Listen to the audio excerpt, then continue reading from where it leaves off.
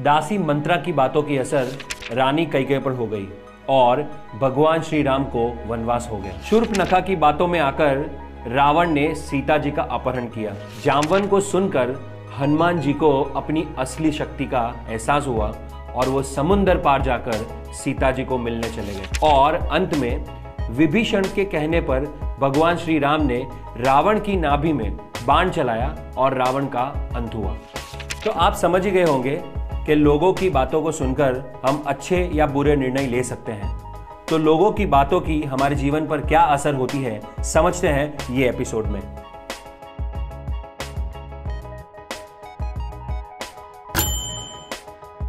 क्या आपने कभी यह सोचा है कि लोगों की नकारात्मक बातों की असर आपको क्यों हो रही है?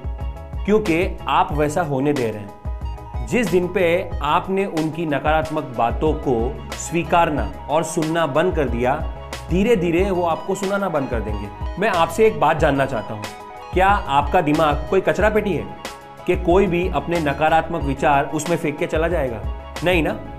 तो आज से आपको एक चीटी की तरह बर्ताव करना है। जैसे एक चीटी के सामने आप नमक और चीनी रखोगे तो चीटी सिर्फ़ चीनी को चुनेगी। वैसे ही आपके सामने कोई कुछ भी बोल के चला जाए आपको उनके नकारात्मक विचारों को अपने दिमाग में लेना ही नहीं है और सिर्फ़ जो अच्छा लगता है, वो आपके दिमाग में उतारना है। चलिए, मैं आपको एक सिंपल सा सोल्यूशन देता हूँ।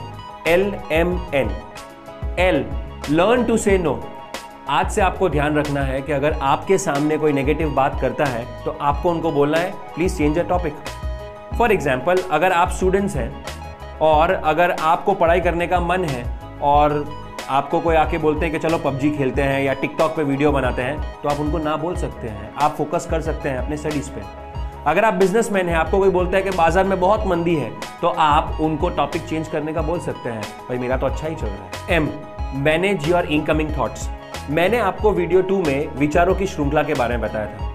तो अगर किसी की बातों की आपको नेगेटिव इम्पैक्ट नज़र आ रही है तो वो विचारों को आप वहाँ से तोड़ दें और कोई नया पॉजिटिव थॉट आपके दिमाग में लाएँ। N neglect meeting negative people अगर आपको लग रहा है कि किसी व्यक्ति से मिलने के बाद मेरे थॉट्स नेगेटिव हो रहे हैं तो ऐसे व्यक्ति को मिलने से दूर रहें। आई एम श्योर आपको फ़र्क नज़र आएगा। तो चलिए आज के होमवर्क पे चलते हैं।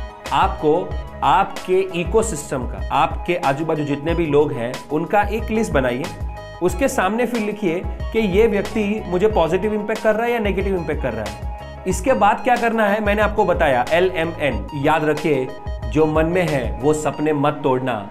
और लोग क्या कहेंगे? ये सोचकर अपने मंजिलों के रास्ते मत छोड़ना। कुछ तो लोग कहेंगे